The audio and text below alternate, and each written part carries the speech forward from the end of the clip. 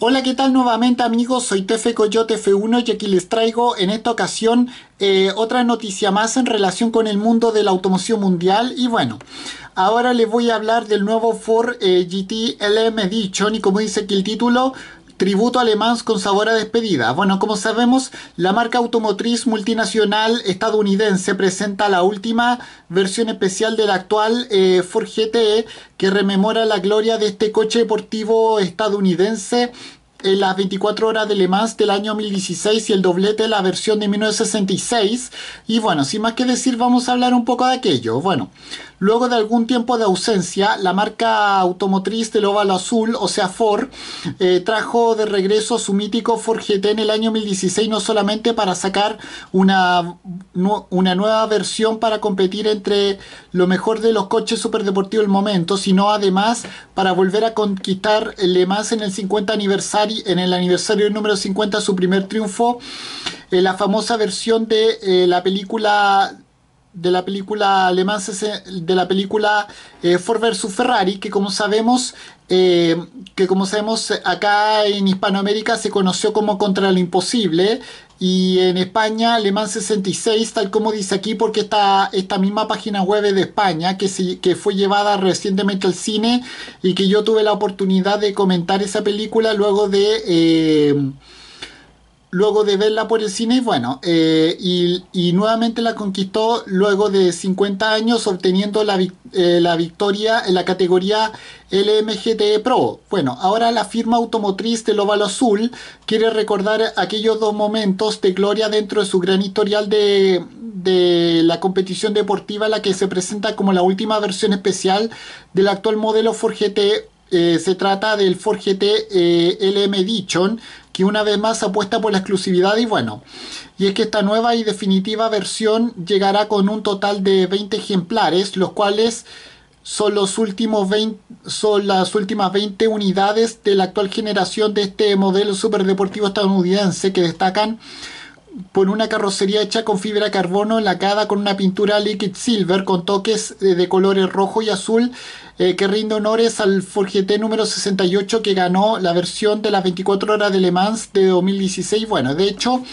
su fibra de carbono podría ir tintada con color azul o rojo eh, para enfatizar la, aerodinámica de este coche, incluyendo el splitter frontal, los umbrales laterales y de las puertas, la rejilla, los espejos retrovisores o el difusor posterior, acompañados con unas llantas hechas con fibra de carbono de 20 pulgadas, con acabado brillante, tuerca de titanio y pinza de freno marca Brembo lacadas en color negro y bueno, otro exclusivo detalle de esta variante es su eh, es su es su tubo de escape o salida escape o escape como quieran decirle doble de titanio impreso con 3D que presenta un diseño ciclónico en el interior de las puntas para realzar el sonido de su eh, bloque tipo V6 Biturbo EcoBoost que tiene como potencia 660 CV.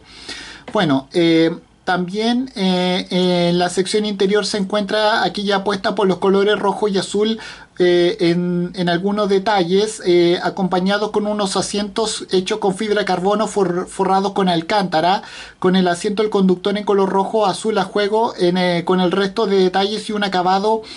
en Evano para el asiento de lo que es el acompañante, sea, el pasajero, con costuras en el color del asiento del conductor y bueno, como el tablero está recubierto con cuero de con cuero ébano y, y alcántara, al igual que en eh, al igual que la parte del techo, mientras que aquí tampoco faltan elementos con fibra carbono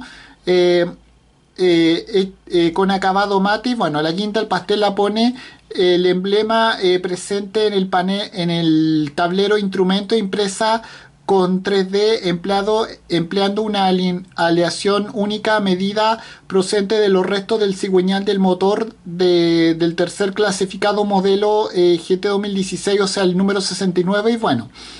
con materiales, diseño e ingeniería eh, innovadores, el Ford GT no se parece a ningún otro supercoche fabricado en serie. Bueno, eso es lo que eh, asegura Mark eh, Rashbrook, quien es el director global de, de la filial de alto rendimiento de competición de Ford, o sea Ford Performance Motorsport. Y bueno, mientras cerramos este capítulo del Ford GT para carretera, el GTLM dicho nos dio la oportunidad de inyectar aún más el corazón y alma de este modelo campeón homenajeando nuestra victoria en Le Mans en 2016. Bueno,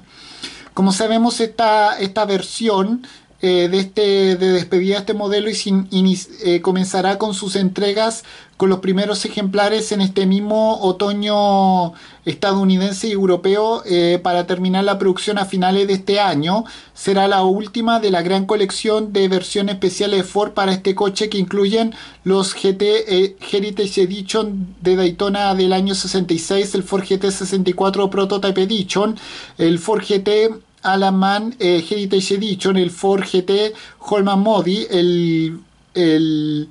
el Holman, eh, el Holman Modi eh, Heritage Edition, ese quiere decir, el famoso GT Gulf Heritage Edition, entre otros tantos. Y bueno, y con esto me despido. Adiós, que me fuera. Chao.